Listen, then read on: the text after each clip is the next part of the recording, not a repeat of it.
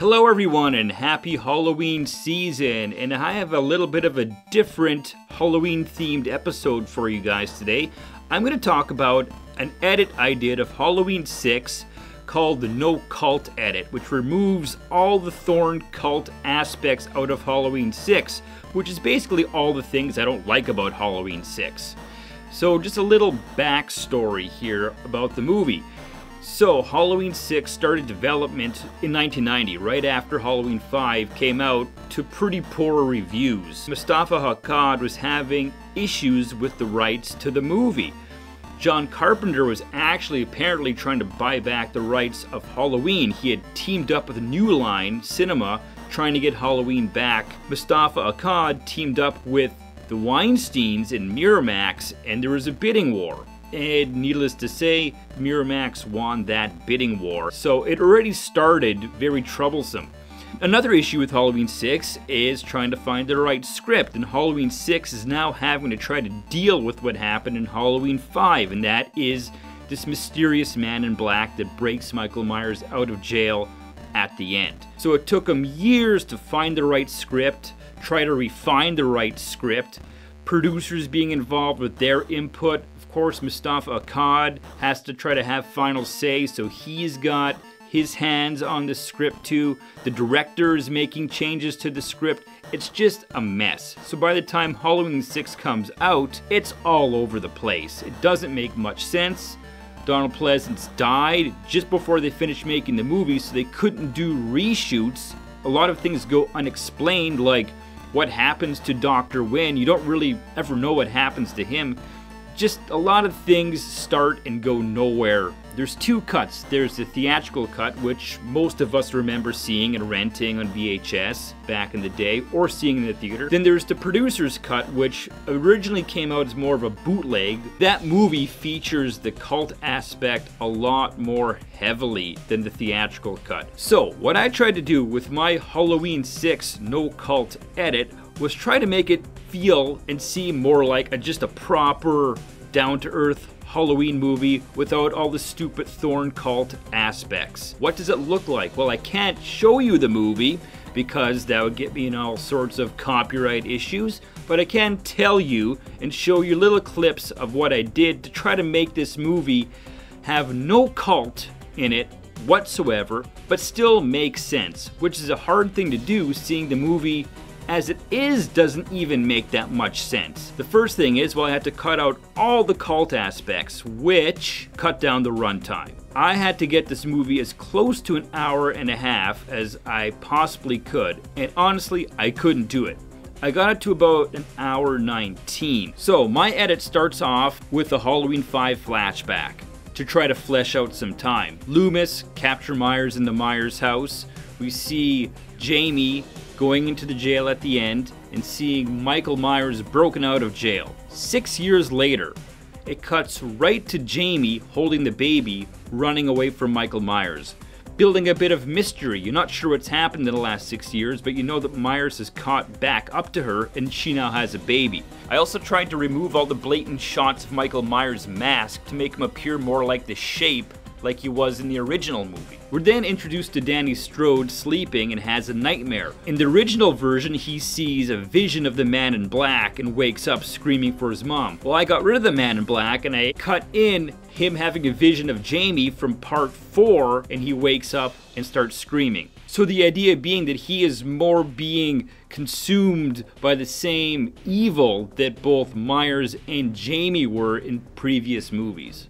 Then the movie continues just like the theatrical cut. We see Tommy Doyle spying on Danny's mom, Kara, through the window. We're introduced to Dr. Wynn, recruit Dr. Loomis back into his old role at the hospital. We cut back to Jamie being chased by Michael, and she gets killed by Michael Myers in the exact same way as the theatrical cut. It then cuts to a flashback of Jamie in part 5 hiding in the coffin with the moment with Myers where she gets him to take off his mask and you see the tear. Cuts back to part six, and then Michaels finally finishes the job.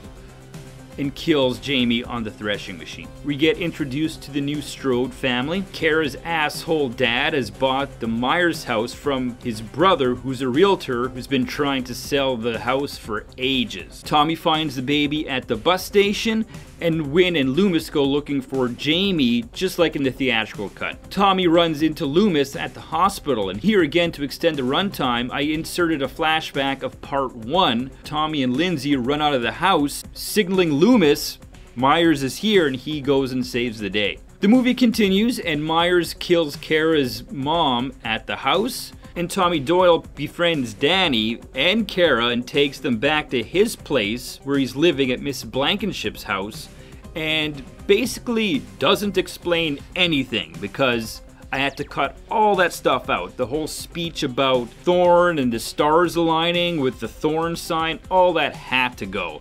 So it's basically Tommy just telling them that he knows Myers is still on the loose and to stay put, which I think works. Don't go back to your house. So Myers kills Kara's brother and her friends, just like in the original movie. Tommy runs into Loomis at the celebration, and they go back to Miss Blankenship's house to get Kara and Danny and the baby. And in the meantime, Kara's had the big battle with Michael Myers. So they get back to Miss Blankenship's house, and we see who's sitting there Dr. Wynn. Now, I had to do a little bit of magic here and changed some things around. In the original version, they walk in, they see Wynn sitting there, he is the man in black. And Mrs. Blankenship, we find out, is kind of part of this cult too. And then a bunch of cult members come and take away Tommy and Loomis. I had to kind of cut that right down. So basically, Loomis and Tommy walk in, Loomis sees Wynn, and he just goes, Wynn. Where is she? Where's Kara? Feel like I've been drugged. We have been drugged.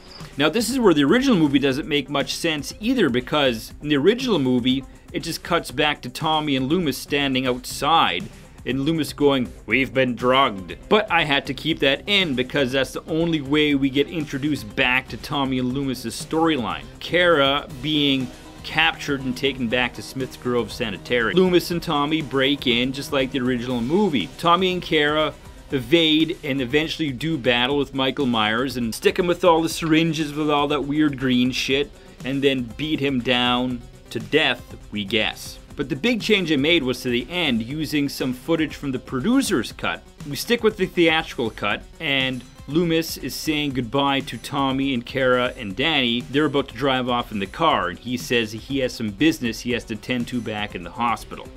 The theatrical cut ends with that, and then you hear him screaming, you don't know what happened. In my cut, he goes back into the hospital. He sees Michael Myers laying there, goes to unmask Michael Myers, and it is Dr. Wynn who is now in Myers' place. And then we see Loomis scream in anger, and then insert the footage of Michael walking away in Halloween Resurrection it goes to the credits. What I had to cut out was, of course, Loomis seeing the thorn sign appearing on his wrist before he screams. So my cut basically just shows him screaming after he sees Wynn in Myers' place. That is just like a little fun edit I did, trying to basically make chicken salad out of chicken shit and seeing if I can make the movie work without all that cult aspect. It was just a fun little project to see if it could be done if the movie would still work. I think it does. I watched it with some friends a couple of years ago, and most of them said they actually prefer it over the original theatrical cut because all the fun stuff is still there, all the fun deaths, all that jazz. We're just getting rid of all the stupid cult aspects. And the idea I was trying to put forth with Wynn still being the man in black, still solving that man in black mystery from part 5, he was just basically trying to control Michael Myers as like a little pet project, but nothing to do with the grand scheme like a cult or anything like that. He is just one man acting alone because he is a bit crazy and he's trying to control a serial killer. There's no other grand scheme. He's not part of a big cult, there's no big master plan. He's just another crazy. So as much as I'd like to share the entire movie with you guys, I just can't because get hit with copyright issues up the ass.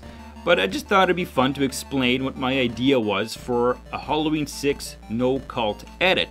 And again, you can do kind of anything with these fan edits. You can use footage from other movies like I did. You can make them completely ridiculous, like there's a Halloween H2O funny edit that I did in collaboration with James Rolfe last year and probably do a video about that maybe next year. He was a little too busy this year to do another collaboration video like this to explain what we did with our fan edit, but look forward to that next year. And let me know in the comments what you would do with a fan edit for Halloween 6. You can make it completely ridiculous or you can try to chop it down to something a bit more down to earth like I did. So, happy Halloween.